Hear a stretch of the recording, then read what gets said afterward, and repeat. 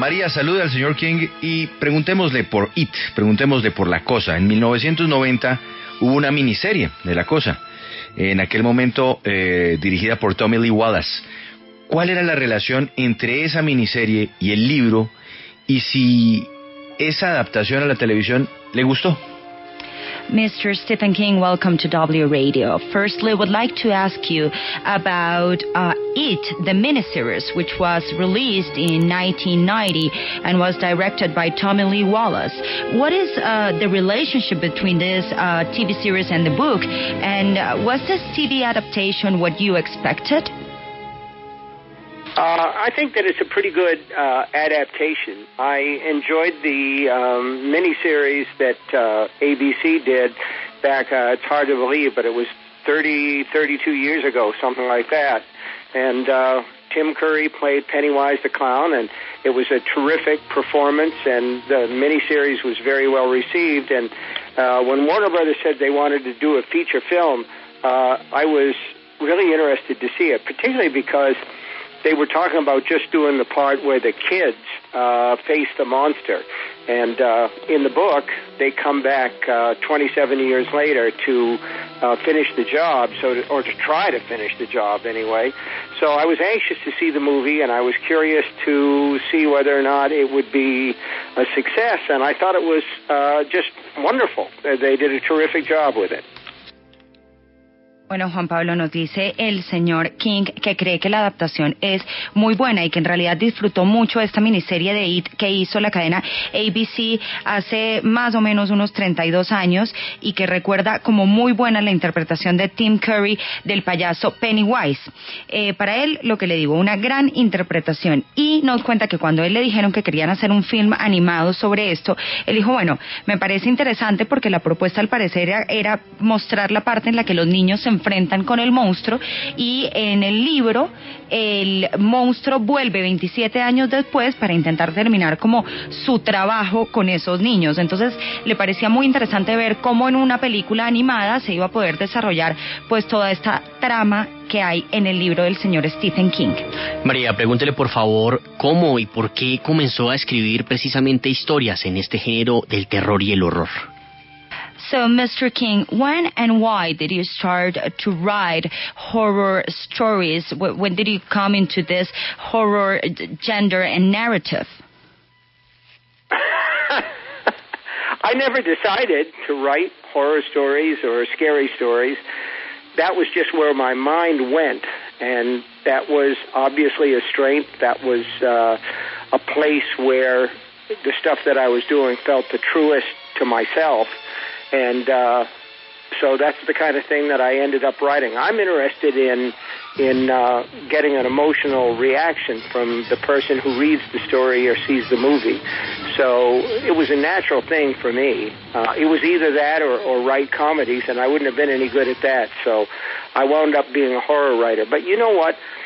This kind of thing, that kind of that isn't uh, something that you decide. It's decided for you by what kind of talent that you have. So that there are some people who write mystery stories, and there are some people that write romances.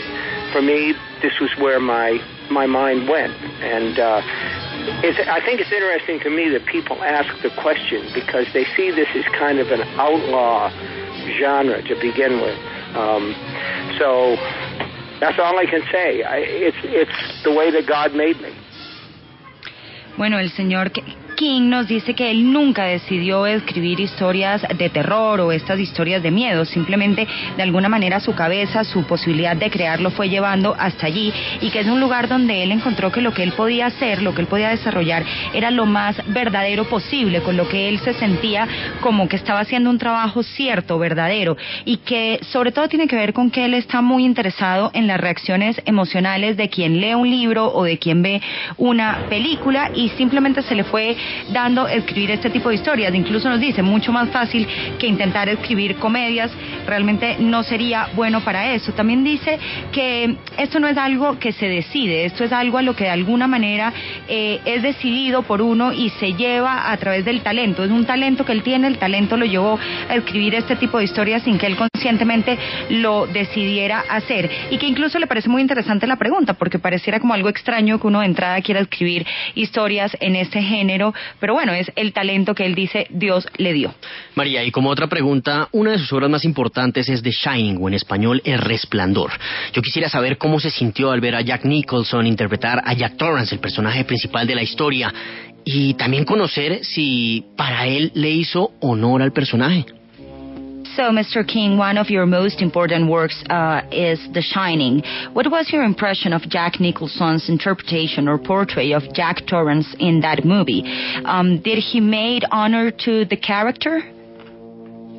Well, let's put it this way: he wouldn't have been my first pick for that particular part, but Jack Nicholson is a tremendously uh, uh, talented actor, and I think that my problem with his uh, his portrayal of Jack of when of uh, Jack Torrance in the book is that uh, he felt crazy at the beginning, and in the book, this is a story about a man who is uh, going crazy. You know, you asked me where the stories come from or what comes first, and with The Shining, I was thinking of this guy who was trying to quit drinking, who had a problem with his temper and I thought to myself, if I can put him in a situation where he's bent again and again and again, how long before this guy breaks?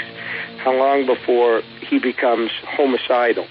And uh, I put him in the haunted hotel just to see what would happen. So that was the arc of the character was from a really nice man, a good a good man, a good husband, and a good father who was put in a situation where little by little he changes into a monster. And uh, I felt like uh, when I saw the movie that Jack Nicholson, from the first scene where he's in uh, the hotel manager's office, that he's nuts. He's nuts from the beginning. It's in his eyes, it's in the way he smiles, it's in his voice. So to me, there was no surprise. There was no arc of character, if if you like. So you know, uh, that was not Jack Nicholson's choice. Uh, that was the director's choice. And so, if there's someone to blame there for the reason why I don't like that particular portrayal, you'd have to say it's Stanley Kubrick that did that, not me. Buenísimo. Es Stanley Kubrick el que se inventó el personaje. Well, Mr. Stephen King, thank you very much for being with us at W Radio. Bueno, ¿qué nos dice, qué nos dice sobre, sobre la película El Resplandor y en particular el papel de Jack Nicholson, María? Bueno, pues Juan Pablo nos dice que Jack Nicholson no habría sido su primera opción para interpretar este papel.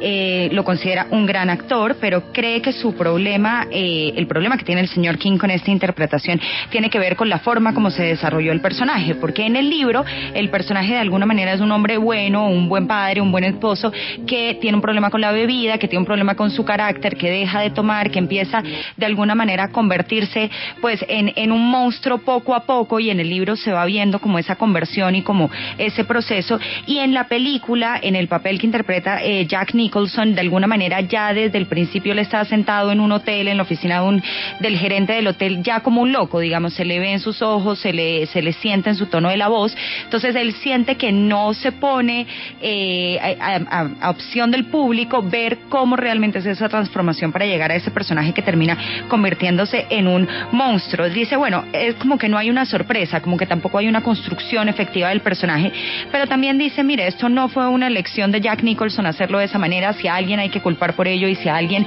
yo culparía por eso sería al director de la película Stanley Kubrick.